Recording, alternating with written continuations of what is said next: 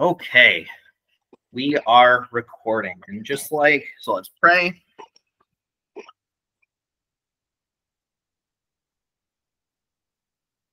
Rejoice, O thou who full of grace, O Virgin Theotokos, for from thee hath risen the Sun of Righteousness, Christ our God, enlightening those in darkness. Rejoice, thou also, righteous Elder, as thou receivest in thine arms the Redeemer of our souls, who also granteth unto us the resurrection. Right. So on the great feasts, as an aside, today is the Feast of the Presentation, which is the 40th day after Nativity, in which the Lord was presented in the temple to the righteous Zechariah, um, the priest, and uh, and then Saint Simeon, the God receiver, held him in his arms, right? And the prophetess Anna uh, also beheld him and, and prophesied to the Mother of God. Um, this is also, and this isn't this isn't in the scriptures, but the tradition attests to this, and the Lord Himself mentions it, but doesn't give the details. This was the reason that the prophet Zechariah, uh, the father of Saint John the Baptist, was killed, because the Mother of God came to present the child, uh, and He placed her in the spot where the virgins were, right? And so the the other the Pharisees and the scribes saw this happen and saw that what he was doing because you know it's it's like the Jews all knew at that time that a, the, the prophecy of virgin shall conceive, you know, and bear a son, his name shall be Emmanuel. So when they saw this woman being placed with the virgins who was presenting a child, they put two and two together and, you know, once again, uh, did not like that. So they did not like that. And so he was killed in the temple. And then that, this was what spurned on Herod's, um, killing of the children in Bethlehem because there they they saw that the he was obviously informed that the child was brought and placed and the woman was placed among the virgins so he sent soldiers to the temple they were the ones who killed Zechariah um, which is what the Lord talks about when he talks to the uh, to the Pharisees, you know, 33 some years later, where he tells them, you know, you're the ones who who killed um, in the latest Zechariah in the temple, right? Um, so yeah, that that's why that happened. Um, and and yes, this that's this feast. But uh, what was I saying? Anyways, on these days we say that we sing the tropar. So like during the after feast of the great feasts, we sing the tropar instead of praying uh, for our meal and other things. Like so, instead of the Our Father, we sing the tropar. Instead of O Heavenly King, we say the tropar, right? And then uh, there is even a period in which we say nothing, which is ten days in between um, Pascha, sorry, Ascension and Pentecost like if you're if you're studying you don't sing oh heavenly kings. We don't sing oh heavenly king until we gather together on pentecost. Because that is one of the hymns of pentecost um as just an aside. Uh yeah so. Are we not going to be singing for a minute no no no no. Well no so that begins um that begins so during the actually we can yeah we can get into this. Uh so the paschal season i mean this is probably good to go over now since it's almost Pascha. Now Mishkin's eating out of the ripped open cat food. Um, anyways, sorry. Um, sorry. Um, yeah, so so Lent and Pascha are very much a disrupting kind of liturgical thing. Um, and this is something I think we discussed with Nativity. Um, I believe I went on on a at least a somewhat of a tangent on how to tell uh, which feasts are of greater or lesser prominence, right? Because there are people who will say that Nativity is on equal level with Pascha, which is just wrong. It's completely wrong. You look at how it's it's celebrated liturgically, and the services are how we uh, come to know how to interact with the feast, right? How to um, treat them. And so you look at Nativity. Nativity obviously has a 40 day period of fasting leading up to it, so that's bigger than any other feast except for Lent. Um, and then afterwards, there are 12 days of celebration, right? So that's it's a big deal. But Pascha is so much bigger. Like not only do you have the 40 days of Lent, because it's not 40 days and then Pascha, it's three weeks of preparation in the Triodion, and then Lent. And Lent does not end on Holy Saturday. When does Lent end? Do any of you know? for Huh? Wednesday before? No, not the Wednesday before the Friday before Holy Week. So Friday before Lazarus Saturday. So Lent is actually the fast to prepare for Holy Week. It is not the, to prepare for Pascha itself. Pascha is kind of the culmination, but it is the preparation of our ability to enter into the entire passion of our Lord, right? Which is Holy Week. And you even see that in the in the hymns. If you get the chance to go to the Friday, the last Friday pre-sanctified of Lent, it's really wonderful. Basically, all, all the hymnography is like the time of repentance is done, it's over, we've struggled. Now is time to bear the fruit of what it is we've we've struggled to plant, right? Because during Holy Week, that's a completely different animal. You're not doing the same things you do during Lent. It's it's a very different thing. The Holy Week is the most liturgically unique uh, season of the year. It's just everything is different. Um, it, up is down. Matins is served in the evening. Vespers is served in the morning. Every it, it's the the and that's on purpose. That's not just because the schedule dictates it. It's like the the church is trying to show that even time um, there's a great quickening in Holy Week, right? There just uh, everything bows to to Christ in His passion. Um, and then after that, obviously, there's Pascha, and then you celebrate the Paschal feast um, as it's celebrated on Pascha every day for a week. And then after, and then you have a 40 day period of feasting, right? A 40 day period of the Paschal feast where we greet each other with Christ is risen. The services are changed during that time. So there's um, all of that. And then on the last day, we celebrate once again the, the Paschal service as it's celebrated at the midnight liturgy. Um, and then the ascension is the following day and, and Pentecost 10 days later. But then also everything we read every day and liturgically, like the scriptural readings are determined on when Pascha falls. Right. So if you'll look at any calendar for what the readings are, the readings will be X week after Pentecost. Right. Um, and, and so and that's dependent on Pascha. So you look at it's not how many weeks after nativity it's not how many weeks before nativity. There's only two like weeks before nativity in which the readings are changed. Um, but with pascha it, it, that determines everything. So yeah that's just so anyways to get to get back to what um, you were asking so the yeah the service how we pray how we greet each other how we celebrate the services all of that changes during the paschal period. Um, I, I could explain it to all to you in, in great detail, but It's okay. It's not. the best way to do it is to just bumble your way through it. Look at what other people do, are doing and do it, right? You greet everyone with Christ is risen, and he is risen. Um, during the week of of Bright Week, which is the week of Pascha, your prayer rule, nothing is read, everything is sung. Um, you do the hours of Pascha, which is really, really beautiful and it's in the prayer book. Every prayer book has it. Um, yeah, but then uh, from Ascension, so Ascension happens, and there's a 10 day period between Ascension and Pentecost where we do not say, Oh Heavenly King. So, like, you know, your normal prayers, you know, the normal beginning Trisagion prayers where it's, Oh Heavenly King, the Comforter, and then Holy God Glory, you just start with Holy God. Just skip it. Um, and then we all sing it together. It's the, I believe it's the uh, Doxasticon for Vespers, or it's in the Litia. It's in the Litia. Uh, it's one of the Litia Aposticha that we sing, uh, Stichera that we sing, Oh Heavenly King. Um, man, these cats are really gonna go at that bag. Anyways, so yeah, that, that's that's that. So it's basically a 10 day period. It's one and it's one of the most difficult ones to remember. It's like it's just 10 days. You only you only don't say that prayer for 10 days.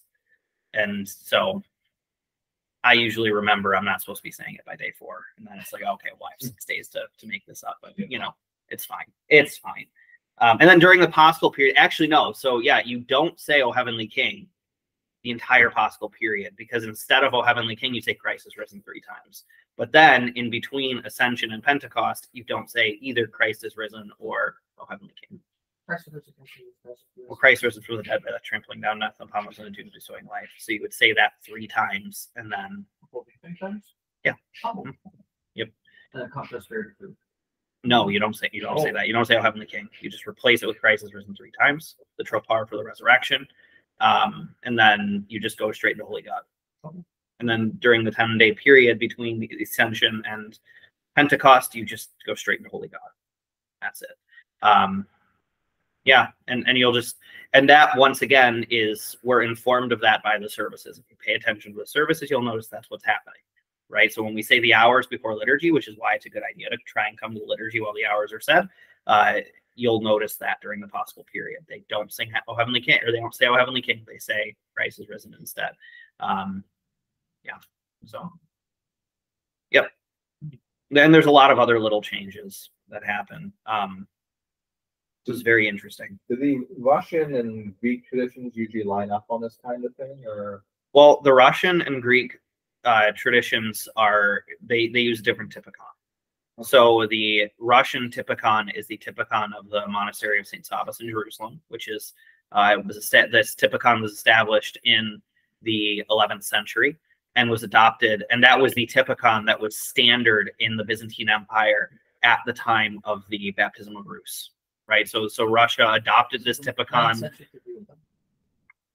yeah so so um the russian church adopted this typicon and maintained it.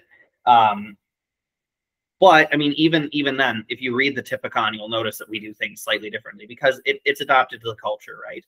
Um and, and it develops over time. And so over time the greek practice deviated from the practice of saint sabas that doesn't mean what they were doing is evil. It just means that things changed right and, and so they decided to typify or codify th- those changes in a new typicon, which is called the Typicon of the Great Church, um, which is what they currently use. So, one thing you'll notice if you go into a Greek church, they don't do the hours before liturgy.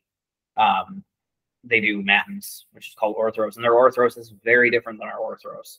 Um, so they, uh, it's actually it's it's they kind of went back in time in terms of how, how matins was was celebrated because matins that the services are essentially the bones are the same, but they have to some degree changed in how they're celebrated. So that the way the Greeks celebrate matins is actually predates the way Saint Sabas is is celebrated. Um, so they kind of went back a little bit in their celebration of it, and they don't do the hours before liturgy unless it's a low ranking feast, and you would only see that in a monastery. So you'd only ever see the the the um Yeah. Okay, I think I think I just assumed that Saint Vlad's did did like the equivalent of Orthros before liturgy. no But okay. no we do the hours third and sixth hour. which is a series of psalms and the hymns related to the day and a series of prayers tied to those hours. This makes sense. Explains why it was it's nothing like Orthros and Saint Nick's. Yeah. Right. So orthros is an hour, and uh, and yes, orthros is an hour, and the, the and the hours they're not actually an hour. They're like it takes twenty minutes to go through two of them. Um, and that's the other thing. Like you look at the way the Greeks celebrate orthros, it's an hour long, whereas our matins is like an hour and a half to two hours long. So it's just the way it's celebrated is very different. Um, and that comes out of necessity. So you'll notice at St. Nick's, uh, they the choir comes in at the doxology, right? So they sing sing the great doxology, and then they go straight into the liturgy. Whereas if you'll notice at St. Vladimir's at a Saturday vigil, we sing the great doxology, and then there's still two more litanies and the dismissal and first hour. So there's still a lot of matins left. What used to be done in the Greek church um, was that was kind of done, and while the mat while the doxology was being sung, the priest and the deacon would say silently in the altar those two um, litanies, and then the entire end of the matin service while it was being done to themselves and start the liturgy. And over time, it, it just dropped out. Um, and that's just how it happens, right? That's how liturgical development happens. So, um, yeah, and there's even there is in some degree in certain areas in Russia a kind of move to that. There's this. I was told once by a professor of liturgics. He, well, he asked a question. He said, "What's the difference between the Russian and the Greek liturgical practice?" Two to three centuries. Just- the Russians just end up following the Greeks and what they do. But you know, it's it's fine. Um, and that started really started with the um, reforms of Patriarch Nikon. Um, you know, the the Russian Church was separated from the rest of the Orthodox world for a couple centuries due to the Golden Horde. Um, sorry for the people online who were expecting a Bible study. We'll get there eventually. Um, so yeah, the, the Russian Church was separated. Uh, due to the Golden Horde, right? The um the the Tartars, and um and so they developed these kind of liturgical practices in isolation. And the issue in the Russian Church, liturgical difference is fine, right? Liturgical difference is okay. The problem in the Russian Church was that essentially there was this sentimentality that we're the only ones who do things correctly, and everyone else not only is wrong, but could quite possibly be in heresy for doing things different than we do. Like for example, crossing with three fingers. The old believers were the, the Russians at the time were crossing with two, like this. Um, there were other different things that were done. Um, so and and so basically there was this mentality in the Russian church that they were the only ones who were still holding on to orthodoxy because these liturgical rites. And so Patriarch Nikon desiring to to disavow that notion and nip it in the bud before it developed into any sort of schism or cessation of communion, uh, he established these reforms, which unfortunately led to schism. Um, he established the reforms, but didn't uh, forcefully impose it. Right? He he basically said these are the things we're going to do in my diocese, and then the Russian government said that's a great idea. We'll also kill anybody who doesn't do it, and they and so the Russian government um, imposed it by by force with the sword, and that's why this schism happened. So it's just all of a sudden they were killing people who wanted to hold to their rights. When Patriarch Nikon himself said, you know, he allowed even his own deacon, for example, to serve according to the old rite. Um, so so it's very clear from him that that this was not this was not his mentality. He did not agree with uh, with the czar and how the czar did things. Even so much so that he he essentially towards the end of his uh, life refused to serve as patriarch, but also refused to step down um, because he did not desire for this czar to appoint Yeah. a, a patriarch who would be in of, of agreement with him, which ultimately led to. Does anyone know what, what time period this was or who was in charge? Revolution. This is Peter the Great. Oh, This is Peter the Great. So, do you know what Peter the Great did in the history of the Russian Church? He- he is- Abolish the patriarchy. So, yeah, What century? Huh? What century? Uh, 17th century. Yeah, so 1600s, and uh, it's, uh, yeah, late 1600s, early 1700s. Um, but yeah, basically he uh, and he very much liked the the model of the Synod, which was the um, European Protestant model, where essentially the the governing body of of the state's church was a department of the state, Mm. um, and was controlled directly by the state.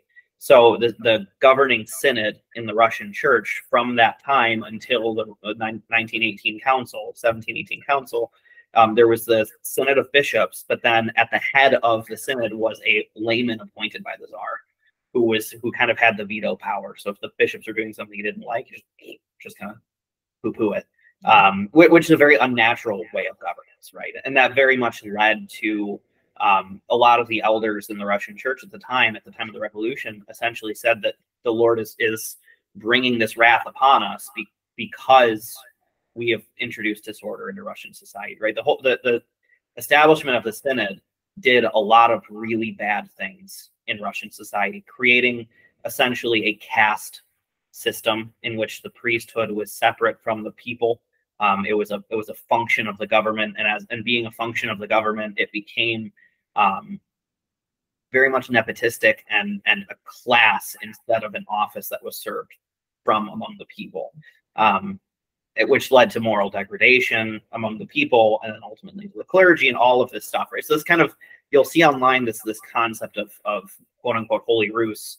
And um, there is a reason the revolution happened in Russia. It's because they were not holy. so like, it was not holy. I mean, the, it very much was a was a was a purifying act for the church. It forced people to choose whether or not they were actually going to be a Christian. Very often, um, in a in a split second moment, that would end in their deaths, which is why they're martyrs, right? But it purified the Russian church. Um, those who didn't actually care to stop being Christians. Like Saint Hilarion Troitsky, for example, before the revolution, um, one of his very well-known quotes, he said there there are um, there are a multitude of atheists among the Christians. So essentially, just it was it was career clerics um, who were in it for the money, who weren't didn't really believe anything. Effectively, what you have today in in terms of like the mainstream Protestant denominations, why they're all in decline. It's just because these people were just getting a paycheck and it was just a job, right? So that and so they didn't really care about the mysteries of God. And and, and so what when they were presented with the option of of confessing the faith or and dying or saving their lives and leaving, those who were just in it for the money just said, "I'm out." and and so and that's I mean that's why that was it was a that's why the Russian church now is going through this period of spiritual revival, right? Because uh, essentially that kind of mentality was was forcefully purged by the Soviets. So whether they knew it or not, they were setting the ground for spiritual revival.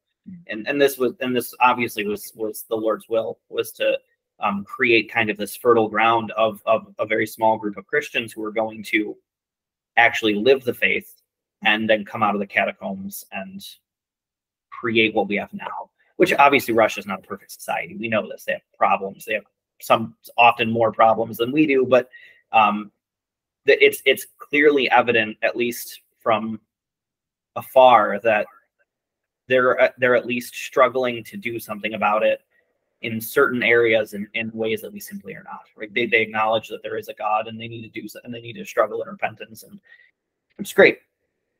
And all of that is very relevant to our last study. Um, It is sort of relevant to the to Hebrews, no? Yeah, yeah, it is to some degree. Um, so yeah, so that there, there's your brief little uh, history lesson in the in the Russian church. Um, so, anyways, Hebrews. We One. okay. One last question. We can ask one last question. Uh, Patriarch Nikon, Yes. uh, he instituted reforms. What were the reforms that he instituted? Like, what were they about? they were liturgical reforms um and and from the outside they don't look very big Mm. so like one of the things that people cross themselves with two fingers he instituted the crossing with three fingers like the greeks Okay. um that's what the church was doing at the time, or that's what people used to do. That What people- people were doing this in russia right before this kind of developed on its own um the reason why he introduced the reforms was because the there were many in the Russian church who essentially believed they were the only ones doing things right. That if you were crossing with three fingers, or you were saying what they thought was too many hallelujahs, um, that you were essentially in heresy. So they were starting to believe that they were the only real Orthodox. And Patriarch Nikon, who is one of the most maligned patriarchs in the history of the Russian church by modern folk, but one of the most important and pivotal patriarchs in the Russian church. Um, you, so you look at like there's a Patriarch Nikon gets a bad rap, and it's mostly by scholars. Is another like kind of like the first week of, of Hebrews Bible study. Once again with the scholars, the scholars hate Patriarch Nikon, but you look at who loves Patriarch Nikon, and who loves Patriarch Nikon is Metropolitan um, Anthony Khrapovitsky, who was the first first hierarch of the Russian Church, who, while not acknowledged yet, truly is one of the greatest saints of the past century, and then St. John of, of Shanghai and San Francisco loved Patriarch Nikon. Both of them professed publicly and repeatedly that Patriarch Nikon was one of the most important patriarchs in the history of the Russian Church, quite possibly in the history of the Orthodox Church. Um, but yeah, so I, I if when it when it comes to judging history, I would be much more inclined to trust them than some St. Vladimir's person. But you know, whatever. Um, yeah, I, I would trust them much more than that. But yeah, does that answer your question? The other thing was the Alleluias. So like at the end during the hours, um, at the end of the and also elsewhere, um, when reading kathismas, in between the kathismas, there's a kind of a break. They're called stases, and you say glory both now and glory to the Father, Son, Holy Spirit, both now, both now and in the age of men. Hallelujah, hallelujah, hallelujah, glory to thee, O God. And you say that three times, right? So, what does Alleluia mean? It means glory to thee, our God. So the old believers said, Alleluia, Alleluia, glory to thee, O God. Right? Because essentially they were doing it once, twice in, in, in the Hebrew and once in Slavonic. Um, and so they believed that that extra, that extra ad was just superfluous. Is that how you say that word? Yeah. yeah i just felt like okay anyways. Um so they, they thought it was unnecessary and they were very critical of the greeks for that. And so these these were honestly they were very small things. And so what patriarch nikon was trying to get them to do was say well you should be concerned about things of substance. These liturgical differences are fine. And not only are they fine but we're going to start doing them. This is basically what he said. There were- um this Wednesday I went to uh Vesperal. Is it Vesperal or Vesperal? vesperal Vesperal liturgy at St. Innocent's, and it was around. It was just before the Our Father, where instead of going say one two three four five, went one two four three five, which almost there, But I, I What do you mean? um the prayer which Father says immediately before the Our Father, was said immediately after the Our Father. Was some little little there was some little change like that. Hmm. Where the bear where the bones were all the same, but again there was a slight variation where it felt like just a little bit outside. Anyway, Well, I don't know. the nominalization of Vesperal liturgies outside of their appointed time is, is a completely different completely different issue than than how often to cross oneself or how to cross oneself and i'm not going to touch that we're we're not going to touch that because that is a mess I don't um, I didn't realize that was a controversy. It is. Three seconds ago. yeah post recording we'll discuss it um, Okay. because we need to get to the bible study Yeah, okay. sorry sorry 33 minutes in sorry everyone i hope this is i hope this is uh edifying for you all Um. See, but the thing is, see what you're experiencing right now, everyone on the live stream, is what happens when I'm trying to get my computer to work. Yeah. Is we have these discussions right. while my computer's frozen. But now my computer is not frozen because I have a new computer and it's working. So you all get to be exposed. You're starting the Bible study at almost the same time. That's right. But you're getting this is bonus. So you're not distracted with going back to the computer. Right. I'm not looking at the computer. We're actually able to talk about these things. So uh, the the Hebrews Bible study will also just be um, random factuals and and just random questions. And honestly, if you have any questions, feel free to ask them, and and you can partake in in this hodgepodge too. Get off the dry sink. Go. Yeah. Okay. So, anyways, uh, we ended at chapter four last week, right? Right. Right. And so chapter four effectively was um uh, it was a warning against the people of God, right? Against the Hebrews, uh, to not fall into the mistakes of their forefathers, the mistakes of their predecessors, which was to harden their hearts through sin, right? And through hardening their hearts, fall away from God, fall away from God, fall away from his promise, right? And he continues this to some degree here as well. He keeps coming back to that theme once again because th- this is dealing with apostasy, right? He's dealing with people who are tempted to return uh, to the superstitions of the Jews, um, to enter into Judaism, which is not the way of the Jews, and we'll talk about that in a little bit.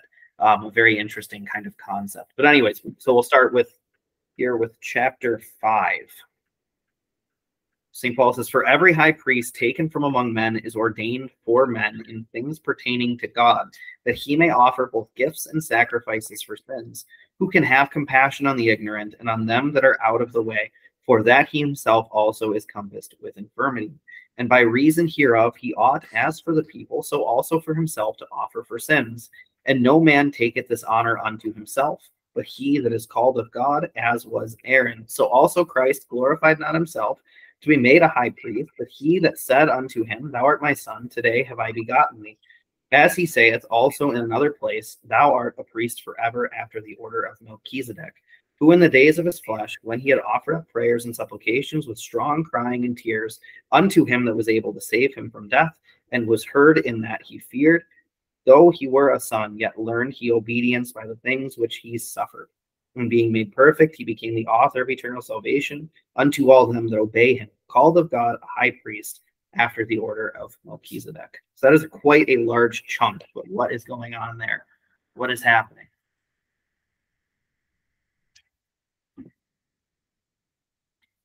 That Jesus is the new high priest. Jesus is the new high priest. Yes, that is as absolutely correct. Um, so he is comparing and contrasting the priesthood of Christ with the priesthood of Aaron, right? Um, and, and so he kind of identifies um, these kind of traits of the priesthood, right? Uh, traits of uh, traits of the uh, Levitical priesthood, and this ultimately is a continuation of the last few verses of the last chapter. Um, once in this this kind of chapter and verse thing is is fairly modern um, with the with the invention of the printing press is when they started making these divisions. They're not always perfect, right? They just kind of it's not like this this chapter with the end of thought doesn't happen, especially in in the epistles. Um, but anyways, sorry.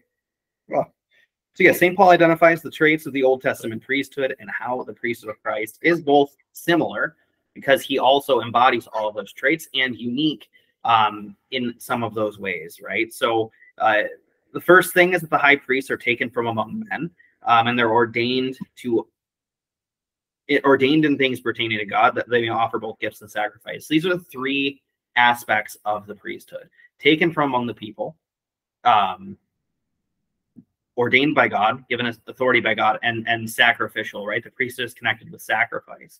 So these, all of these things are um, are necessary for the priesthood. Right. So priests who are taken from among the people are like the people. Right. So so the very same things that the priests that the people struggle with, very much, very often the priests have. Right. This is kind of we see this from the very beginning of the establishment of the priesthood. Aaron was set up as priest uh, by God, you know, and, and so Moses goes up to the mountain to receive the revelation. And what is the priest doing? He's he's taking all of the gold from the people to fashion an idol. so they build a cow, right? So it's it, you know, and it's kind of this thing. There's there very much is a temptation, uh, not necessarily just in our days, but also this was also one of the reasons that that there was such moral degradation in um in the Russian society. There was clericalism, right, where people viewed the priests as as otherworldly or inhuman or superior in every way, and which is a problem. Um, and you see that work out sometimes um, when people refuse to let the priests do what everyone else is doing, which is silly. Um, but like you know, you look at the priests, and from the very beginning, they were the problem. and you look throughout the history of the church, right? And and um, how many heretics, how many condemned heretics from the ecumenical councils were not priests? One, there's only one that I know of in Eutyches, but he was a monastic. So like all of them were either priests, bishops, or patriarchs. Like they were mm-hmm. all clerics, right? And and so, but the thing about that is, you know, the people are taken from the priests are taken from the people, and so they have the same struggles, the same sins as the people that they themselves are struggling with, right? So, um, so that's the first thing. And Christ, in a sense, is also like us in that he took our nature, but without sin, right? He voluntarily took our weakness. Um, none of you were at liturgy this morning, right? This was one of the things that that I talked about in the homily. Um, you know, Christ. So this is this is the feast of the meeting of the Lord, um, where Christ is brought to the temple, but we wear blue and we treat it like a feast of the Mother of God. Why do we treat it like a feast of the Mother of God if it's the meeting of the Lord? If the Lord is going to the temple. It was also her purification, but how does a 40 year old baby walk? 40 day old baby sorry 40 40 year old that's like modern days. That's people that yeah. yeah how does a 40 day old baby get walk to jerusalem and present themselves to the temple mom mom brings them to the temple the mother does it right so so it's a feast of the mother of god because you know that christ became what we are in all things he took our weakness voluntarily and so he allowed uh, the mother of god his mother to to raise him up yes marty all right, we'll let him go. Um, sorry, so he bore our weaknesses, but without himself being the cause of them or being guilty of them. Um, so that's that's the first thing, right? I have this written Uh, down. so then, so the, for here, like uh, the description of the high priest, the fact that the priest himself is compassed compassed round with weakness is connected here to him having to make offerings for his own sins as well as the people. right, Whereas with Christ, it's weakness is there, but not the sin, right? Like right, right. It's a well, but he, but this is another thing that St. Paul says elsewhere, right? He became sin who knew no sin. okay, right, okay. But the difference in in Christ and the priest, what what the mo the what makes Christ's high priesthood distinct from the high priesthood of of Aaron and Levi is that Christ's sacrifice was himself. He offered himself because what what else can God offer but himself? It's the same thing, and we'll talk about this in the next chapter. But when Ab- when God made an oath with Abraham, what did he swear by? Yeah. Himself, because what else could God swear by? So he swore by himself, you know, and and um, which also is is a very important thing. There are people who will say that you can't make any any oaths, right? Um, it's this is once again a misunderstanding of the words of the Lord. You can make oaths. God made an oath, but this is what the Lord says. You have to let your yes be yes or your no be no. If you're going to make an oath, you got to do it, and and that oath better be in accordance with with the way of God, right? So we should never make an oath to, to do some sort of sin or something like that. Um, a good a good kind of analogy of that, something that's analogous, is it? have any of you read the Silmarillion? No. Yeah.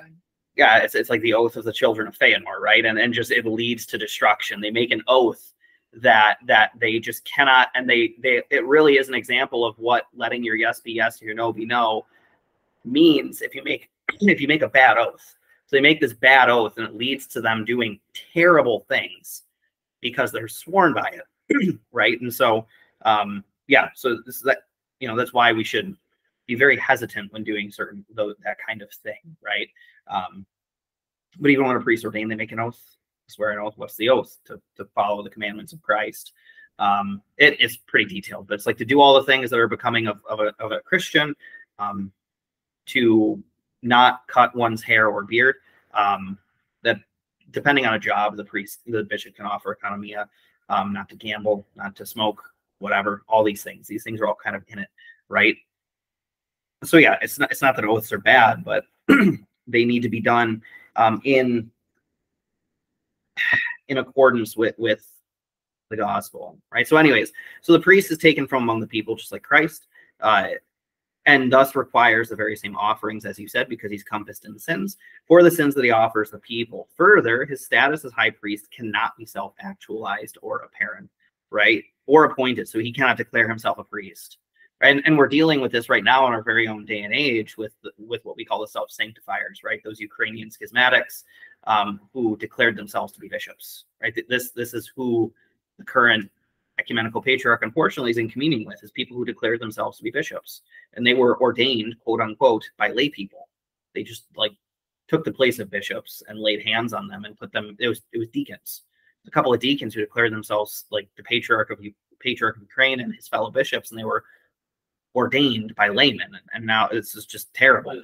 Um you can't do that you, you can't you can't just take this upon yourself. And there's precedence for this as well in the scriptures right? In the old testament uh there was the rebellion of korah in numbers 21 right? Where where essentially there was a group of people led by korah uh, who was one of the people of israel who and essentially korah outlines the um, baptist rhetoric in rejection of the priesthood exactly word for word um, and, and not just the Baptists, but but most Protestants in general, those who deny the priesthood, where they say that we're all a priesthood of believers. This is what Korah himself says. He says, "Did you not say? Did God not say up on the mountain that we are a royal nation, a a noble priesthood?" So he says, "We're all priests. So you can't just say Aaron's a priest. I can be a priest too." And so they start offering sacrifices. And then Moses says, This is a bad idea. You need to stop doing this. And he begs with them and pleads with them. They will not do it. And finally he says, Okay, here's the deal. This is what we're gonna do. We're gonna go and and you're gonna offer incense, and Aaron is gonna offer incense, and we'll see who God accepts. Aaron offers incense while holding his staff, and staff buds. It, it produces a flower. Then Korah and his people offer incense, and the ground opens up, and they're swallowed into hell alive um, and and so it's this is a this is a historical event that clearly articulates that the priesthood is not something that we just take upon ourselves. You know, Aaron did not declare himself a priest, and Moses didn't just appoint a random person. God appointed Aaron as priest, and so too, you know, we see with with our contemporary priesthood, we did not declare this for ourselves. Christ appointed 12 people, the apostles. He gave them authority. And from the apostles, they shared their authority. They gave it, right? So it is given. It is not something that we take for ourselves. So, and, and this is something that, that, you know, must be recognized. It's, it's the priest is not, it's not of the priest's authority that anything happens. The priest is appointed by God through the hand of the bishop to do these things, but it's Christ working through the bishop, right? So, so the priest is, is partaking of the, the high priesthood of Christ and his sacrifice um, but it's not the priest himself. He's not um, special, right? It's not, and he's not worthy of it. It's something that that is given to him by grace. It's the grace of, of the church. Um, so that's something that that's important to note. What else? And then for yeah, yeah. So it cannot be self-actualized or appointing to fix that door. That's not good. Actually, before we do this, I'm gonna go fix that before we break the door. Sorry, everyone online.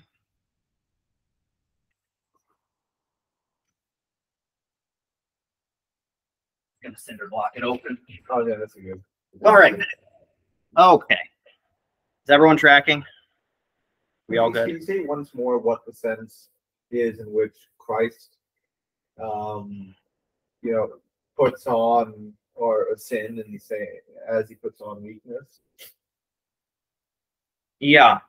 Um, we will we will enter into a period of time which we were discussing that really talks about that, which is Lent and Holy Week. But essentially, um, you know, Christ is Christ is God, right? What is sin? Sin ultimately is separation from God. It is it is uh, cutting a cutting off from life.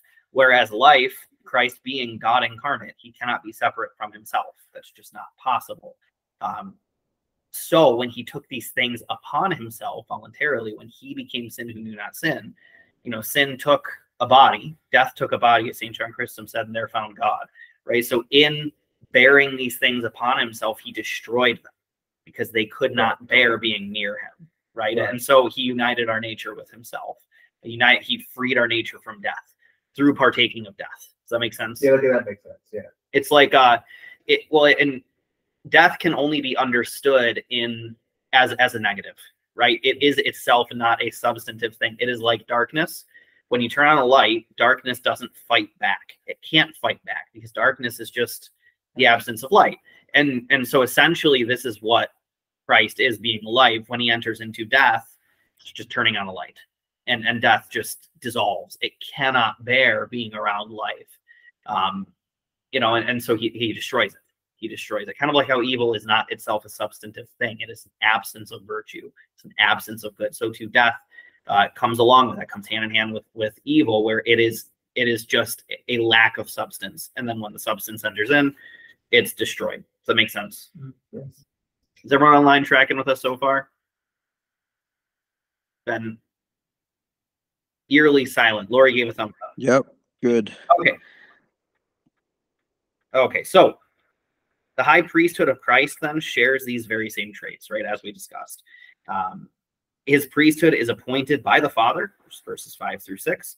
He bore our weakness, verse seven, and we'll read these verses again, especially evident in the Garden of Gethsemane, which is in Luke chapter 22, um, where he asks that the cup maybe pass away from him, the angel strengthen him, and then he bears uh, our, the crucifixion, and his priesthood is sacrificial. But the third trait of Christ's priesthood distinguishes him from Aaron, however, as we discussed, in that Christ is himself the sacrifice. The, the um, Levitical priesthood offered sacrifices as a type to show them that there would come a time in which a sacrifice would be made for their sins. And they knew that these things did not save them, right? They knew and th- this is evident from the beginning that that they were awaiting the Messiah. They were awaiting the promised one who would redeem them of their sins. And this entire uh, law that was given was an indicator to them that first and foremost there was nothing they could do to free themselves from sin, right? To to make them recognize their spiritual state. This is this is the whole purpose of the law is to make one recognize their spiritual state, which is not good, right? When when you look at the law, and, and this is the same with the Beatitudes, when Christ expounds on the spiritual reality of the law and the depth of it, fundamentally what that means is when you look at it and when you look at yourself honestly, it's like, oh, I'm I'm in real I'm in a bad spot, right?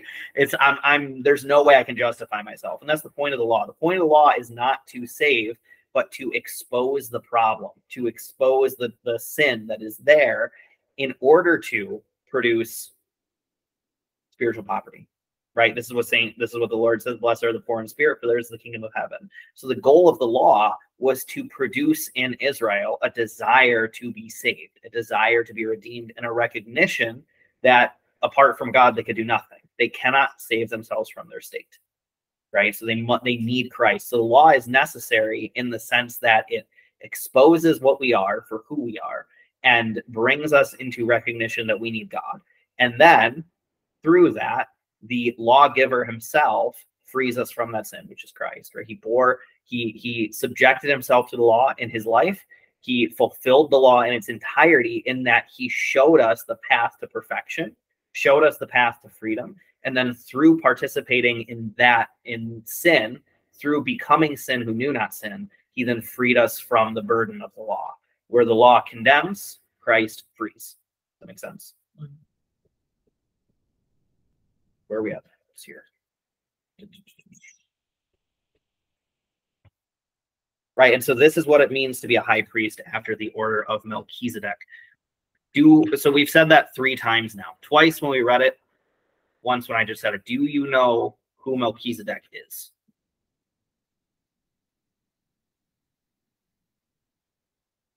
I know that there's no but couldn't think what century.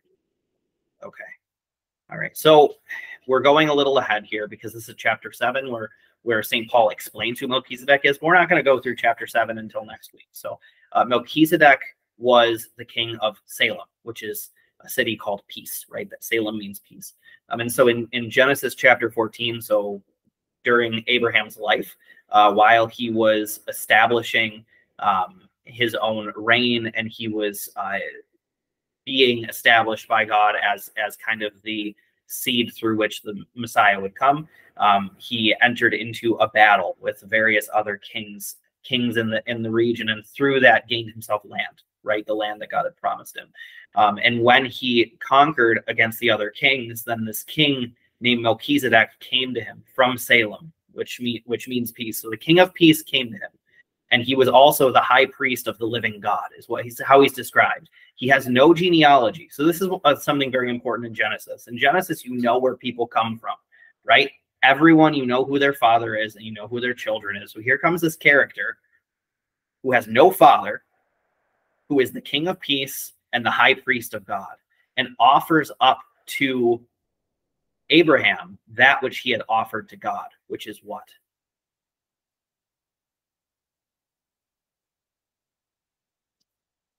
Bread and wine. He offers him bread and wine that were consecrated to God. And then what does Abraham do? He partakes of the bread and wine and then tithes to Melchizedek. And then Melchizedek vanishes. That that's all you see of him.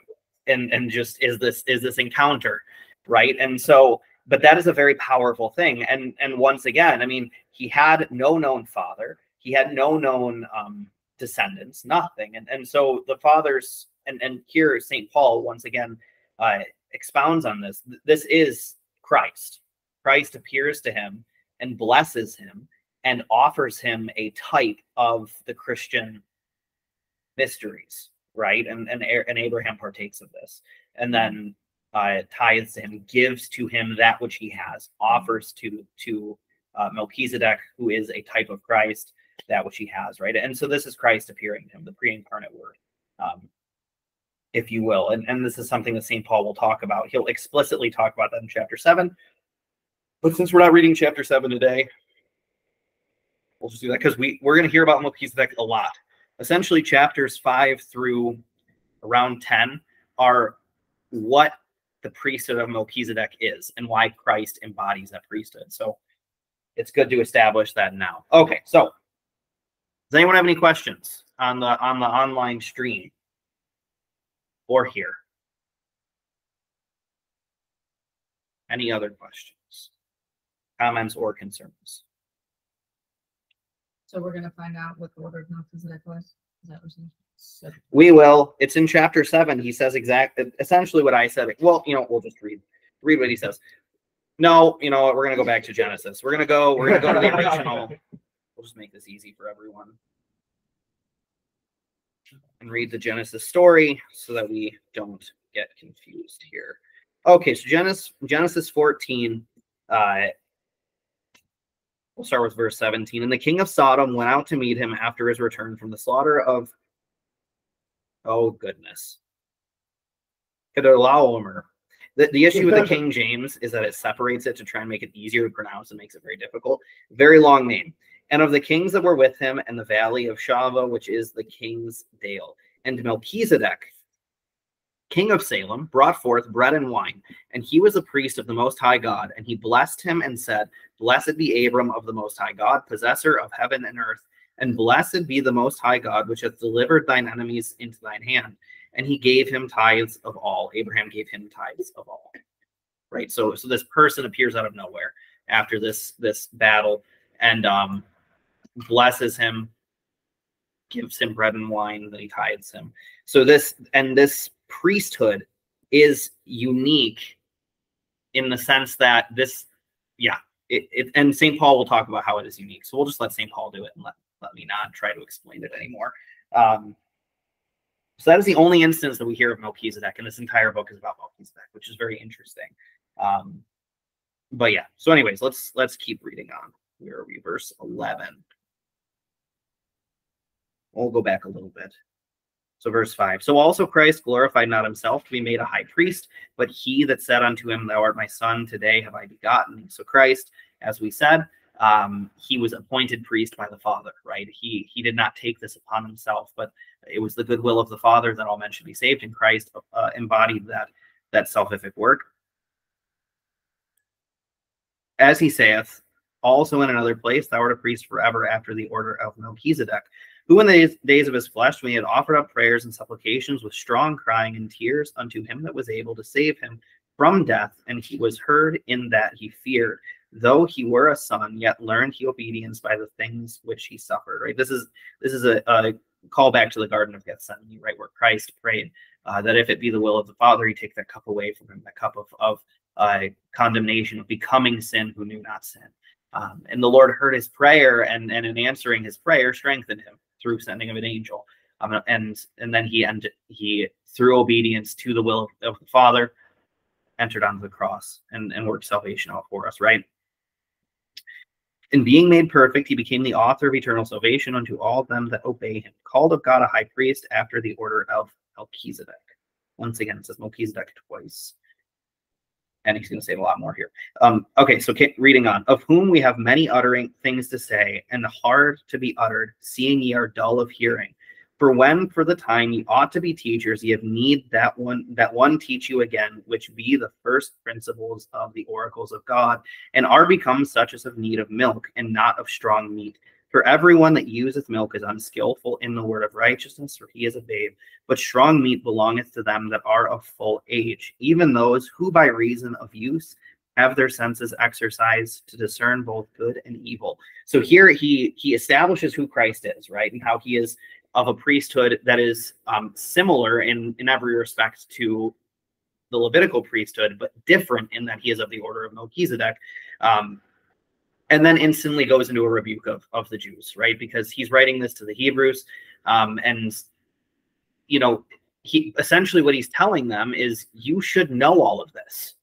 it's like you should know this. You, sh- you like th- this is what God was preparing the people for. He is cultivating this understanding, this knowledge of who the Messiah is throughout the history of, of the people of God, right? This this is the history of God's interaction with the people. At first, it was simply Adam and Eve and God, and they had an intimate knowledge of God. But as the people fell away through sin, then the greater masses gained a lack of understanding of God, right? And then the Lord focused on select people, right? So he continued to illumine his chosen people, whereas everyone else fed away. So he's he's preparing the Israelites, right? And the problem in the problem that that occurs is that the Israelites then fall into pride, where instead of seeing themselves as what they should be, which is a prophet to the world, to proclaim the good news of God to the Gentiles, they then see themselves as superior to the Gentiles and as um, as what's the word that I'm thinking of? Um, they do not see the Gentiles as as being worthy of their time because the, the Gentiles were not chosen by God; they were, right? And so they be, they grow inward. They they um, become insular. They uh, cease to they fail to fulfill their duty as Israel, which is to be the light of the world, right? To proclaim the good news to all of the world. And in so doing, they enter into this essentially heresy, right? Uh, which is identified. Now, St. Paul kind of talks about it. He talks about throughout his epistles, but St. Ignatius of Antioch actually identifies it very well, um, where he calls it simply Judaism. Judaism he identifies as a heresy, right? And what is Judaism? It's not just being a Jew or of the tribe of it, of of Israel, the chosen people of God, but it's the rejection of Israel's calling, right? To be a light to the world. And and so it, it is Judaism that led to the killing of the prophets, the rejection of God's revelation to man the God's revelation being that Israel will be the light of the world, that the Messiah will be for all nations. Uh, those who became insular, those who rejected the will of God, were hardened to God, then rejected God's grace in that. And I brought, I grabbed this book, so we'll read this quote. I wrote it down here as well, but um, we'll read it here. And I'm I showed this book, um, at the sorry, I showed this book at the Monday evening Curious Vlad. Curious Vlad. And this is a book called The Apostolic Fathers. Um, have you seen this book? Any of you? Uh, I, I think so, yeah. You would like this because it's Greek and English, Right. um, which is very good. But yeah, the Greek is very useful here. Um, but Saint, but Saint Ignatius, we celebrated him last Sunday. Um, he was one of the first bishops of Antioch. He was the child who sat in Christ's lap um, when Christ uh, said, if, if you wish to be, if you wish to enter into the kingdom of heaven, you must be like innocent like these babes. Um, and then blessed him. And then he was discipled by St. John the Theologian. Um, so very, very prominent early church uh, writer, right? So he, when he only wrote at the very end of his life, as he's being marched to his death, he wrote a series of instructional letters. And you get a really good idea of how the church was structured at that time, which should come as no surprise. It's exactly how it's structured today. it has not changed. Um, and he even makes explicit, like he he identifies the threefold hierarchy of the church, how it interacts, recognizes that if you are not a part of a Christian community that has that valid threefold hierarchy, you're not actually in a, a church. You're not a part of the church, is, is what he says. Um, we need to do everything with in accordance with the with the church. But he also deals with Judaizers, right? Which which was a very prominent heresy at the time. And and this is what he says about it. He says, "Do not be deceived by strange doctrines or antiquated myths, since they are worthless." For if we continue to live in accordance with Judaism, we admit that we have not received grace. For the most godly prophets lived in accordance with Christ Jesus. This is why they were persecuted, being inspired as they were by his grace, in order that those who are disobedient might be fully convinced that there is one God who revealed himself through Jesus Christ, his Son, who is his word that came forth from silence, who in every respect pleased the one who sent him. Right. And this harkens back to the first chapter of, of Hebrews, right? Where St. Paul begins the book of Hebrews by saying there is no disunity between Christ and the prophets, but rather all of the prophets spoke concerning Christ. He is the culmination and the fulfillment of the prophets, whereas Judaism is a rejection of the prophets, right? So, so the Jews um, who killed Christ, right? It, it's not that they believed Christ to be a heretic. They knew exactly what Christ was saying about himself, and they knew that this is what the prophets said. They just rejected him because they didn't want him to be the one. but they knew that Christ they knew at least to some degree that Christ would be divine, that he would be a God man. They they may not have understood quite how that worked, but the, the Jews were not monotheistic as they are today, right? They they didn't believe that God was simply one person. They recognized that there was at least the Son and the Father, but many also recognized a Trinitarian nature. They simply couldn't uh, a Trinitarian facet of the of of God, but they simply couldn't articulate it, right? Because it wasn't revealed to them but they knew. I mean, they have the same scriptures we do, right? When Abraham was visited by the Lord, how did the Lord appear to him? As three angels. Um, so as three angels, right? He he and he referred to them as what? Lord. Spoke to them as one person. So right, and then even in the very beginning, in the very beginning of Genesis, it's Trinitarian in how the how creation is established, right? Um, so God created the heavens and the earth, and the Spirit hovered above the water. So God spoke, right? So the Father thought, the Son spoke, and the Spirit enlivened. Right? So it's a Trinitarian act. So from the very beginning, and throughout all of the Old Testament, you see this this kind of shadow of the Trinity. And this is why we celebrate the feast. We call the Feast of Theophany Theophany because it means God revealed, right? God has manifest. The Trinity is revealed in in no uncertain terms but that wasn't a surprise. It's not like that came out of nowhere. It's not like this is just this completely new thing. Um, right. So when Christ made these claims, they the, the Jews weren't saying uh, you're speaking out of nowhere. They, you know, they when he called him when he yeah, so they they knew what the Messiah was, but they rejected him as the Messiah. And so Saint Ignatius is essentially articulating what Saint Paul was saying and saying Judaism is an ideology is a rejection of the revelation of God.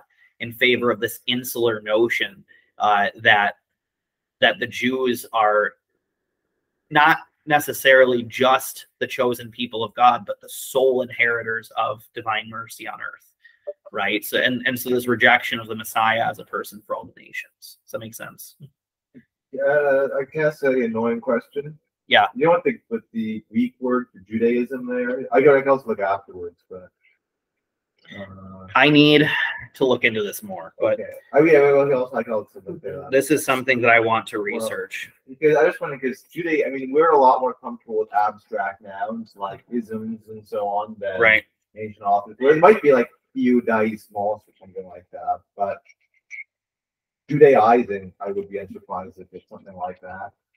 But Sorry. Da, da, da, da, da.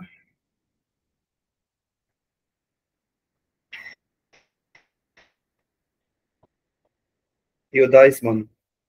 okay, so it is. It is. Yeah, it is. It is the ab- the abstract. Yes, the abstract. Okay. That's interesting. They don't like abstract words. so- Yeah, they do use them. They just use them way less often than we Oh, do. okay. Like Yeah. usually names like you know you wouldn't say um, you know America went to war with Canada. You would say the Americans went to war with the Canadians. Interesting. Okay. Yeah, but it, you could say it. it's not an universal thing, so it's not like impossible that it was like yeah, we you guys smalls there. Right. Um, Well, and and that, that really hurt. I when I read that, I was like, I what I need to do is go back and look at and look at the Septuagint because I don't think that word is used in reference to the Jews at all. I would be surprised if it isn't. can- Yeah. Yeah, I don't think it is because they're spoken of as a people, but Yeah. that is spoken of as as a way of thinking. Right. So it's like these are two very different things. And and well, in Saint Hilarion Troitsky, I was I was thinking about this as well in his book Christianity or the Church, which if none of you have read is foundational reading, foundational Christian ecclesiology, along with Saint Ignatius, um, establishing what the church is. But um, he essentially uh, he identifies and, and establishes uh, this kind of new concept. It's not really a new concept, but he, he gives a word to it. It's, it's, he calls it Christianityism or Christianism. Which is just the the turning of Christianity into an ideology and rejecting the living revelation of God's presence on earth, right? Of of and and so ultimately it makes you people of the book, right? So um, it, yeah, it, when when you, when Christianity ceases to be a living experience of God and becomes a a um a classroom, if you will, or just a study of of um a study of text and the accumulation of data and the formulation of, of thoughts based on that data, then it ceases to be a living thing and becomes just like any other ideology, right? And and that to me very much what seems similar in kind of the concept that Saint Ignatius is pointing out here, where where they're rejecting God's activity um, in favor of this kind of this insular way of life. If that makes sense. yeah. Um, and and in that way, it's a heresy, right? It's a rejection of God's grace. It's a rejection of God's uh, the economy of salvation in favor of. Um, well, I mean, I guess a good way to look at it is in the Old Testament, right? Um, God, when when they created the gold golden calf, what what did God do? No, He did not destroy it. What happened? Well, Moses comes down. Moses comes down. He gets very upset. Um, he smashes the tablets. God had God had um, fashioned the tablets himself, and then the second time Moses comes down, he fashioned the tablets himself. So whereas God Himself inscribed the law into tablets, then Moses had to do it. So um, they were further mediated between between the people and God with Moses. Um, but then, so yeah, they they make them melt down the calf but what happens after that? How does god respond to this? He sends serpents right? He sends serpents into the camp and the serpents begin biting the people and they're poisoned and they're dying. And he tells moses to do what? To make the bronze serpent on the rod right? And everyone who looks on the serpent on the rod will then be healed which is a type of the crucifixion right um, to gaze on christ is to be healed of our infirmities right? To gaze on the one who saves us. And so he he tells him to fashion this image for them to look at so that through the image they may be healed. Then what do the Jews do?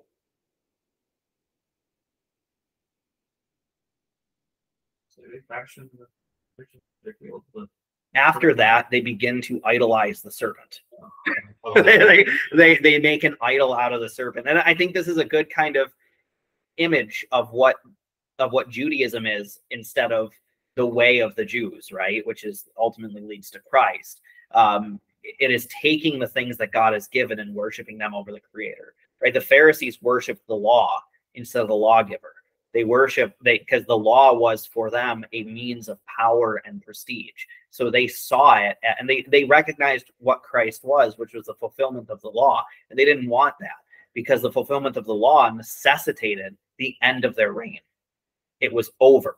It was done. And they and, and so they said, well, maybe if we just kill him, we'll, we'll have it a little longer. And and all of Jerusalem was destroyed, right? 40 years later by the Romans.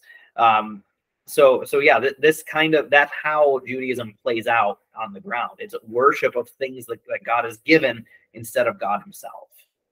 That makes sense. And so St. Paul talks about that throughout um throughout the scriptures, right? And and he talks about that a lot in terms of circumcision. This is where the Judaizers really came out in Christianity is they followed Paul around after he baptized the Gentiles and then they said, "Okay, well now you also have to be circumcised because you have to do the things of the law."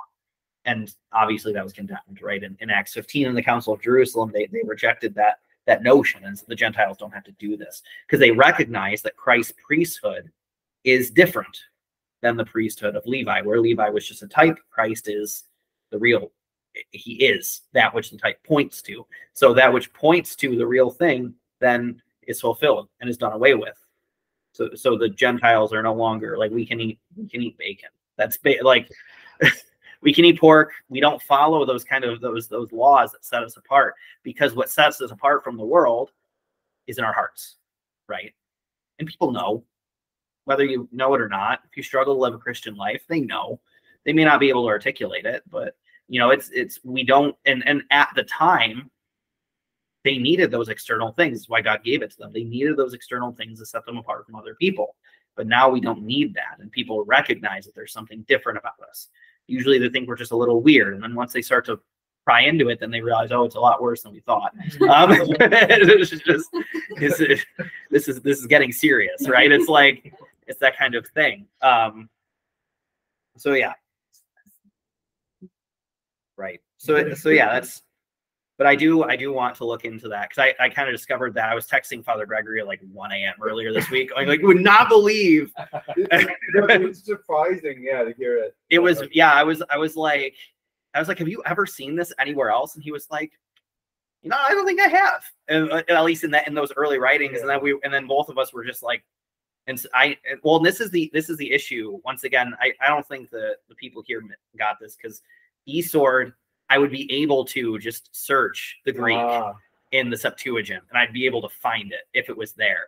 And so I can't do that with this computer, but I still have my old computer. I'll just have to wait for an hour to be able to search that term, um, or if I'm ever in my lab at work. But you know, whatever. Um, so yeah, one of the nice things about eSword, and, Yeah, and one of the nice thing, one of the, one of the redemptive aspects of technology is you're able to do something like that. Um, so Andrew was reporting. I think, well, you could do with the so yeah, this, but I think you need a universe. Well, I, I don't actually know about a good free tool. Oh, it's not free. Well, eSword is free. Like for generally Greek searching ancient Greek, there's a good tool, but you need a university Oh, There's another really good um I can't remember the name of of the app, but it's it's paid and it's effectively a, a paid for eSword and it has a really powerful search tool for the Greek and Hebrew. Um I just don't have it. I can't remember the name of it. I'd have to look it up. Um anyway, that's neither here nor there. I just use eSword, but now I can't. So maybe I have to buy the one. I don't know. Um if it's on Linux. Who knows? Who knows if it's available on Linux? And realizing how like I don't know. Okay, this is battery low. Uh, We're gonna take a quick pause here. Take a quick pause so I can get my charger. I know where it is. see what one. how the hell would- Look at that. Right there. Awesome. Sorry, everyone. Here, in there. All right. You online people have been very quiet. Do you have any questions or comments or concerns? Uh, I have an unrelated question to, unrelated to our Bible study. We we can digress. We've been digressing a lot. Go for it. Okay, well, F, that serpents part, I've never heard the serpents part of this, the Moses story, by the way. Really? Yeah, I was It's an joking with Steven. I was joking that uh, the movie ended before that part came up, so I have no idea. Yeah. Yeah, it did. Um, yes, that's an Exodus. So yeah, the the Prince of Egypt, which is a phenomenal movie. It it is such a good movie. Um, yeah. Anyways, yeah, it only covers like the very beginning of the Book of Exodus. There's so much more. Um, Yeah, it- yeah, it You're doesn't- backy. Because the, the old Charlton Heston one has the uh, the, It throws down. uh, Sorry, I'll be right back. My kids are wanting has the idol, right? Actually, Oh, actually, Marty, yeah, come here. I Marty, come here. But not the I serpent. don't not think- the- I don't, no, no, I don't think. Say goodnight, everybody. Egypt, Prince of Egypt ends with him walking down, right about to lose it. Okay. Yeah. Boom, Yeah, so Prince of Egypt ends with the golden calf, right? And but not his reaction to the just, golden calf. Um, yeah, so Hello. so okay, we now have our our our um, assistant professor. You smoke. Okay. Um, oh, that was recorded. So yeah, so so I would I would highly re- well, and also a part one of the Lenten readings is the Book of Exodus, um, at least towards the end. So so in in Lent on the weekdays of Lent, um, once again the the services inform us in the degree of of for example fasting. We don't even read the Gospel on the weekdays of Lent, um, which is very interesting. We read Proverbs, Genesis, and Isaiah, and then towards the end of Lent we read um, I believe portions of Ezekiel and Exodus once we finish Genesis. Um, so yeah, I, I would highly recommend at some point you read the book of Exodus. It's just well, and the Pentateuch in general. The Pentateuch is fascinating. There's so much stuff that's just yeah. If you, if you've only watched the movies or things which are good, right? There's so much more. There's really so much more. It is weird. It's hard to understand. Um, you dropped your binky. Why'd you do that? You've seen kind of find out much to do. I don't think no, no. Well, the point is that it pales in comparison. It's like we have to go. Right, yeah, because a lot of it's just too. You, you can't fit it. It'd have to be a miniseries. Oh wow, I feel really bad. Right. Tim would. Sorry, Tim. I didn't check the chat. Every time he said, "I can actually hear everyone." Sorry, can't talk. Oh. The moment we started the live stream, and I was heckling him for at least ten minutes. Sorry, Tim. Um, Uh, Prince of Egypt. Is it a con? Have you never seen the Prince of What? Egypt, Lori?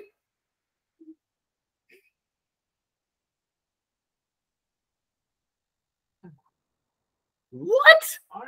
Never heard of it? Oh, Lori, you need to fix that. No, it is not a, a comedy. It From the is so. Egyptian perspective, maybe until a point. The magicians are kind of funny, but um, Yeah. but the, it, yeah, they're they're yeah they're bad. No, no, the prince. The okay, so the Prince of Egypt and um and what is it, Joseph? Uh, not that one. No. not that one. It's But, uh, Joseph, King of Dreams. King of Dreams. Yeah, Yeah. Joseph, King of Dreams, and for that one, but it is excellent. So that one and um the Prince of Egypt are both like they are they are the most biblically accurate um pieces of cinema I've ever seen. Like they handle the source material so well and so reverently and it's just it is so good. Um it- it's it's ba- like yeah, those are those are some of the only things I've watched where it's like yeah, it's like reading it. It's it's almost like reading it, right? And it's great music. We, Yeah. um, And the animation is just the best. Or it is a kid. we, an- we annoy our uh, children. Oh, go ahead. yeah, somehow. Yeah, yeah, Lori, it is it is somehow a kids movie. And, and somehow is that is very faithful to to the Old Testament and is really good and has good musical numbers. Right. Somehow. It doesn't really make any sense that it could be. and and it handles i mean it handles some especially prince of egypt it, it's a kids movie but it also does not shy away from Yeah. you know Yeah. the, the slaughtering of the children. It's like oh it's it's there. It's like it's- it's good. um it's good. Actually hmm. We watched that with the kid. Well we're doing a youth group this sunday and i was thinking about what to do we may, uh, It's been a while. People Yeah, it's- have seen it. it's a very good movie. I highly recommend it. Um but it is a kids movie. There's yeah it, there's but it, it- it's really really good. Okay so that digression. Uh, but I- anyways the point is is yeah read exodus read genesis and you'll go wow i didn't know most of this stuff was in here. Um, but it is and, and so there's some wild stuff that happens. It, it's a wild ride. Same with numbers. People like to really um, dig on numbers because it's like a census of the people but throughout numbers there are these historical interludes that are just so theologically rich like the rebellion of korah in, in numbers 21 it's like um, here's a census of all of the people then all of a sudden oh korah rebelled and here's a defense of the priesthood right? So it, things like that. And then deuteronomy of course is like just this wonderful summation of everything that happened in the first four books but you can't read that and then without you need to read all but yeah it, it's all good. It's, it's moses parting words but excellent excellent. Moses did write all of them. He foresaw his death. He knew so he wrote about his own death um, don't listen to modern people who are silly and, and just say well he couldn't have possibly known about his death. Many of the saints knew about their deaths. It's, it's fine. Um, a good also a good um, accompaniment to that would be the life of moses by saint gregory of nyssa. Very very excellent and short work. Um, just phenomenal phenomenal piece of it he takes a lot of the difficult to understand things and explains them. Now he does explain them in a very theologically advanced way um, but it, it's a good book it's a very good book especially he, he almost all of the book is about moses being up on the mountain and what the darkness of god means where he is god is light but the light is so light and it's dark it's just he cut it's it's very it's a lot. It's it's beautiful. Read the life of Moses. Highly recommended. But first, read the Pentateuch, especially Exodus. Yeah, it's it's um, it's great, right? Do you like do you like Exodus? It's gonna suck your thumb. Okay, let's read on. I So do have a question attached to that comment. Okay. Um, it's about uh, the feast today. My kids were we were talking about it today. They were asking me questions. One of the questions was, "How old was Simeon um, when he met Jesus Christ in the temple?" Simeon was uh, roughly 360. So Thank you. Simeon was one of the 70 uh, scribes who were chosen by the Alexandrian rulers uh, to translate the Hebrew text, Hebrew Old Testament into Greek, which we know as the Septuagint. And that happened in the third century BC, right? So before Christ, three centuries before Christ. Um, he was one of the scholars and he was translating Isaiah. Um, and in Isaiah uh, chapter 7, verse 14, it says, And, and behold, a, a sign shall come, a virgin shall conceive and bear a son, and his name shall be Emmanuel. Right. And, and so he was translating this and and um and he said, Well, in, in Greek, there are two the the word that is in the Hebrew can be translated in two different ways. It can either be translated into virgin or young woman. And he found it hard to believe that a virgin would conceive because that's never happened before. He said, Well, virgins can't conceive. And so he was tempted to translate it to a young woman shall conceive, right? And and to remove um, not necessarily to deny that she was a virgin, but to introduce the possibility of doubt, right? And and so the archangel Gabriel appeared to him, grabbed his hand before he was about to write it, and told him, "No, you need to write a virgin shall conceive, and behold, you shall not die until you see this." Right? And and so he was in the temple for three centuries waiting for this thing to happen, faithfully waiting. And so, you, and when you know that, like the the prayer is far more poignant. He's holding the, the Christ in his arms, and he's saying, "Just let me go. now lettest thou thy servant depart in peace according to thy word." You know, the word is that what what Gabriel gave to him. You will not die until you see this thing. So he's like, "You told me I would not die. Now let me go." right? And and this also, I mean, Saint Gregory Palamas talks about this. He says that that this prayer of of the elder Simeon is also a it, it is the disposition of those in in those Israelites faithful to Christ, which was allow the, the law to pass and be fulfilled in Christ and allow this new life, this new resurrection, this resurrected life to happen, right? To live in the reality of the resurrection.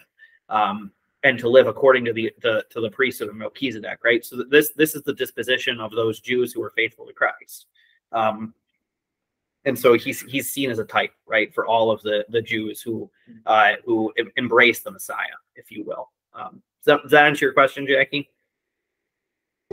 Yes, thank you. Very good. Okay, it is. Wow, was that eight thirty? Okay, we'll blast through chapter six. Uh, so, the, so the first three verses continue on uh, from where we were reading in, in the last chapter. He says, Therefore, leaving the principles of the doctrine of Christ, let us go on unto perfection, not laying again the foundations of repentance from dead works and of faith toward God, of the doctrine of baptisms and of laying on of hands, and of resurrection of the dead and of eternal judgment. And this we will do if God permits. So essentially, what he's saying is all of these we've already established, all of these we've already discussed. Um, at this point, you either accept it or you don't. And if you accept it, let's move on. Let's discuss those things that, that are um, that are deeper, right? And once again, if God permits, so it's it's through the Lord that we learn these things. It's through the Lord uh, that we accept these things. It's ultimately through Him that all of this happens. So He's saying, you know, we're not going to keep rehashing this. We're not going to keep going back to this point. You either accept it at this point or you don't. You should know better, um, embrace it, or don't embrace it. That that's the choice that you have, which is a very good maxim, right? There there will be people who will want to simply argue with you all of their lives about the faith, and and you need to recognize that there is a point in time in which you you just don't argue with them anymore, you know. And and this is kind of the I believe it's somewhere in St. Paul's epistles, but he says something along the lines of, of you give people three chances. You explain the faith three times, and if they continue to argue the same point, then you walk away. You shake the dust off your feet and you say, We're done here. There's no point. There's there's no point because ultimately what you're doing is you're just you're casting your pearls before swine. You're casting the good things of salvation towards somebody who's proven through their actions they're not going to hear. it That doesn't mean you just you you say, well, you know, I guess you're just going to go to hell, but you, you just say that until the disposition changes, there's no point in having this discussion.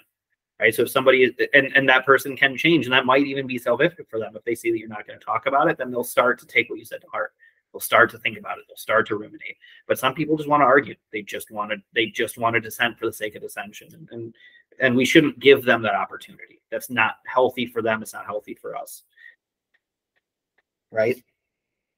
Oh, oh you are reaction. pooping. You see that face? Yeah, yeah, I saw that. She, reaction. she's flexing. It was. She's uh yeah. Wow.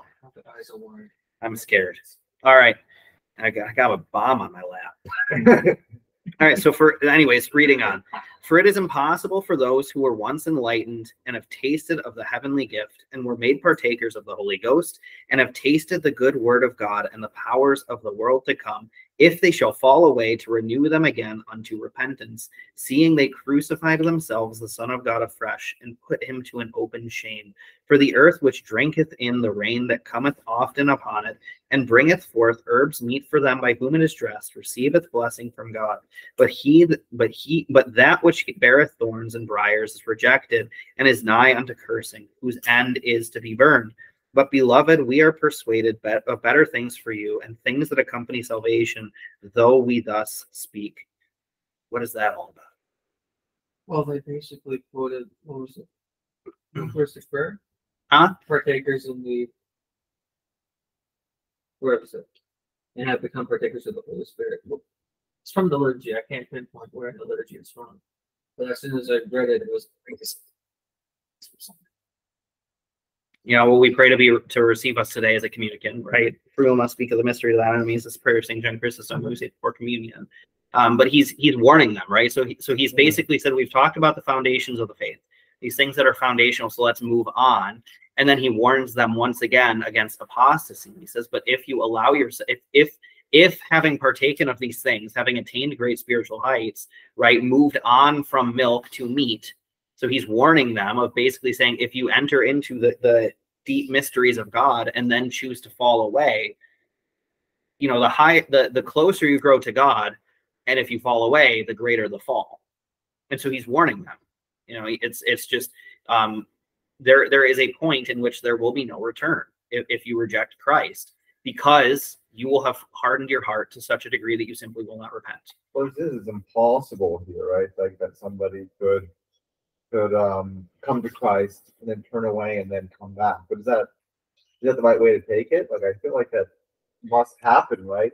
That people Well, right, but it, it what's important um what's important to establish here is verse 4, right? He says, For it is impossible for those who were once enlightened and have tasted of the heavenly gift and were made partakers of the Holy Ghost, having tasted the good word of God and the powers of the world to come. So ultimately, those who were illumined and sanctified and who achieved heights, right, right? Heights of of heavenly things, who became spirit because you know, and and this is not when we start in the Christian life, when we begin. I drank your water. I see that. Sorry, I was thirsty. Um, yeah, so when when we start in the Christian life, we're like children, right? This is and when and this is you'll hear in the baptismal service when it's read.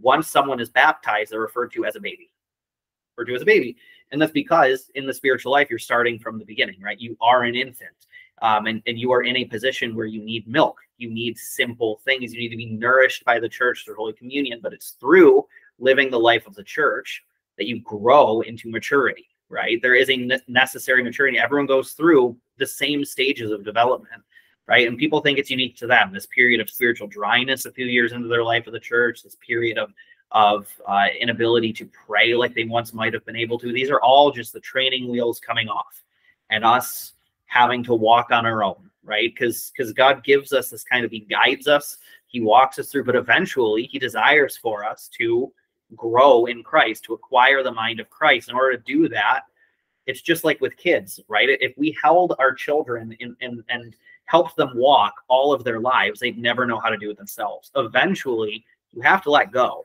and you have to let the child walk. And that may involve them falling and stumbling.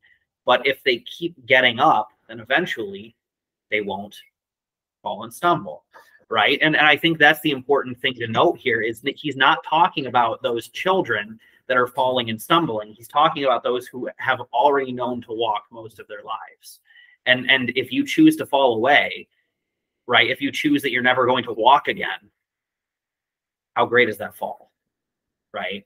Um th- th- this is like judas right who partook of the of the mysteries of christ who, who lived with christ for three years um, and then betrayed the, the master and could not bear it to the point where he killed himself right? So so that he he shut himself out cast himself out from the kingdom and and uh, killed himself. But and then conversely you have the apostle peter right who denied christ three times but repented in such a way that he was restored by christ right? It, it says that judas repented meaning he regretted his decision but he, how he handled his repentance was by killing himself by taking himself out. Whereas peter repented, but then the moment he saw Christ again, fled to him. He wants a nest. Okay. Hi, baby. So, you know, it, it what that doesn't mean is that um falling and stumbling means that we're cast out forever or there's no hope for us. But it what it does mean is to what degree we are close to Christ, the fall will be greater than than if we are not, right? So Peter was very much an infant in his faith. He was um, he was zealous but without knowledge, right? So he would say things like, "I'll never deny you." Um, I believe you're the Christ. But then the moment Christ would begin to, to speak about the mysteries of, of the age to come, Peter would tell him, "Stop, like stop talking." Like I- like Christ would then like you know th- this is in, in I can't remember which gospel it is, uh, but Christ says, "Who do the people say it or who the people say I am, and they're like, "Oh, you're you're." Some say you're a great prophet. Some say you're John the Baptist raised from the dead, whatever. And and the Lord says, "But who do you say I am?" And Peter is the first among any of them, and says, "You are the Christ." And he said, and and so you know, the Lord then says, you know, you you are Peter, and upon this rock I will build my church, which is the rock of his confession. And then immediately after that, tells them, "Okay, this is what's going to happen. I'm going to be given over to the Jews, and I'm going to be crucified." And then Peter says stop talking. He's like, this is wrong. And then the Lord looks at him and calls him Satan. He says, Get behind me, Satan. Why? Because his confession changed. He made a, a confession of faith that was true, but he was ignorant of the greater truths of the Christian faith, right? But the more Peter grew in knowledge, the the less that happened. And you see what at the you know at Pentecost, these kind of falls simply were not present. He had some, he had some degree of struggle with the embrace of the Gentiles and figuring out how that works, but all the apostles did, and they worked it out of the Council of Jerusalem.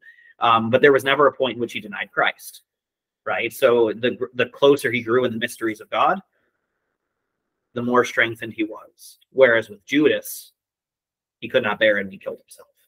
So that's kind of that's what Paul is kind of hearkening to here. Um, and and he gets onto that. We'll read. We'll continue reading because he does discuss this, right? Um, sorry. Verse 9, but beloved, we are persuaded better things of you and things that accompany salvation, though we thus speak. For God is not unrighteous to forget your work and labor of love, which ye have showed toward his name, in that ye have ministered to the saints and do minister. Thank you for getting slobber my Bible baby. Uh, and we desire that every one of you do show the same diligence to the full assurance of hope unto the end, that ye be not slothful, but followers of them who through faith and patience inherit the promises. So essentially, what he's telling them is. Um, you know, you may doubt these things. You may have difficulty understanding these things, but because you are in a position, uh, and, and he's talking to Christians, right? He's talking to Christians of of the Hebrews but he's recognizing that due to their spiritual immaturity and their inability to understand these greater Christian mysteries, while they may doubt and while they may reject at times, he's he's saying that you know the Lord will not forget your good works, and you shouldn't either. You have a chance to turn away from this. You have, if you have rejected the things of God out of ignorance, then you can, knowing your ignorance, come back to Christ. Right. So he's saying that there is hope for them. But if they were in a position, and that's why he's warning them, right? If, if they're going to move on and they're going to talk about greater things, they need to know the weight of that. Does that make sense? Is everyone online tracking? Thumbs up. Excellent. So that was what verse 12. Verse 13 for when God made promise to Abraham, because he could swear by no greater, he swore by himself, like we said earlier, saying, Surely blessing I will bless thee, and multiplying I will multiply thee. And so after he had patiently endured, he obtained the promise. For men verily swear by the greater, and an oath for confirmation is to them an end of all strife. Wherein God, willing more abundantly to show unto the heirs of promise the, Im- the immutability of his counsel, confirmed it by an oath that by two immutable things in which it was impossible for God to lie, we might have a strong consolation who have fled for refuge to lay hold upon the hope set before us, which hope we have as an anchor for the soul, which both sure and steadfast, and which entereth into that within the veil, whither the forerunner is for us entered, even Jesus, made a high priest forever after the order of Melchizedek. Once again, Melchizedek. Thoughts on that? What's the veil? That uh, that curtain that covered the um holy of holies, Okay. which was ripped when Christ was crucified. Right, so they're Right, entering right, into the great mysteries of which only the high priest was forbidden. But it's the it's the hope which is entering in here, right?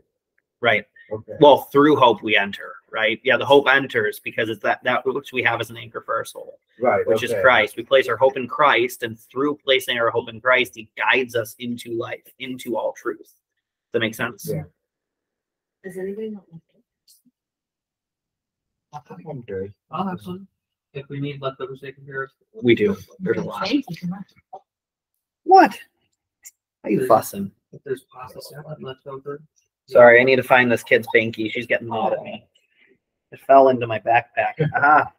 Are there, I take this to work next day or be at church and open my backpack and be like, oh, interesting. That's not that's happened more than once. Mark, do is Huh? there a need of emergency baby holders? you wanna do you want a poopy baby? That volunteers to do it. All right. Somebody's gotta do it. Say hello to everyone on the camera.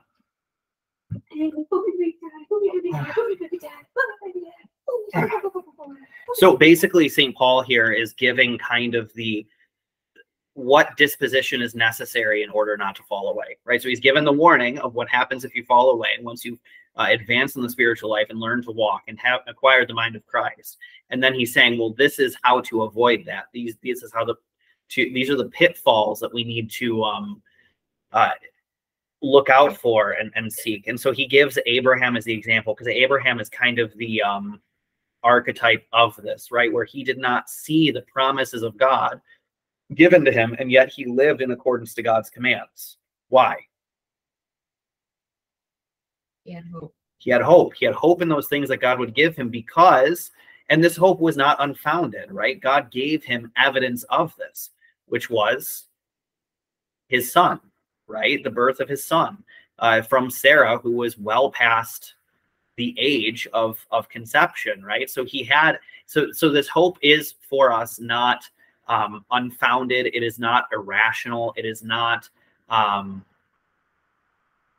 yeah, it, it's not devoid of reason, right? We and for us, we have that reminder. Uh, once again, this this is we're kind of talking about how the the services direct our way of thinking. The church is pointing us towards something in everything we do, and what is that thing it's pointing us to? Father Gregory says this a lot. We are people of the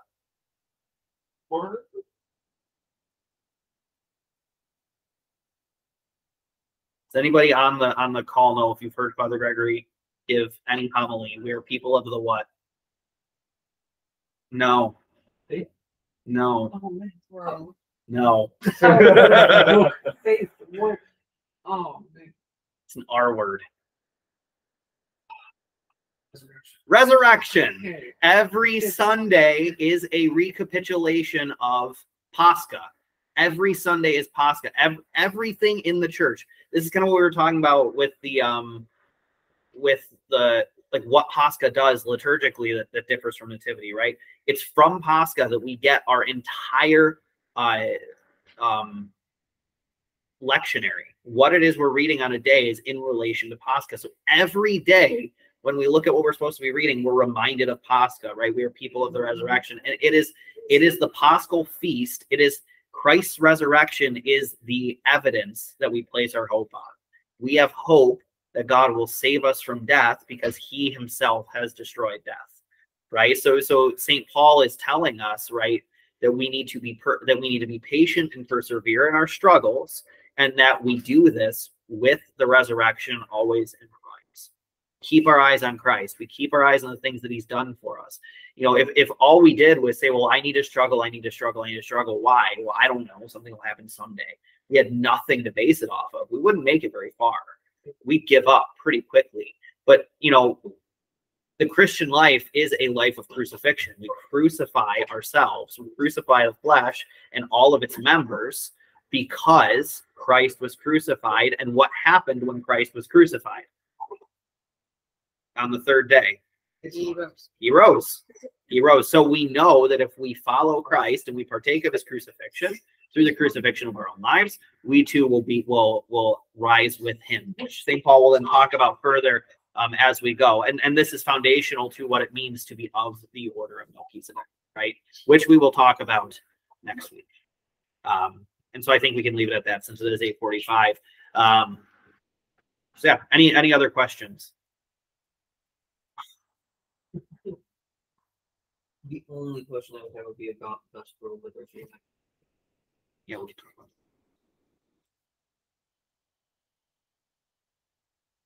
That's it. All right. Anyone online? Any questions?